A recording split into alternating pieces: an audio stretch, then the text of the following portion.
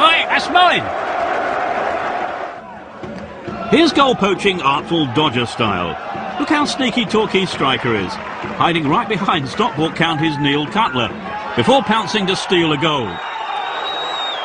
He also stole the keeper's wallet and a gold pocket watch.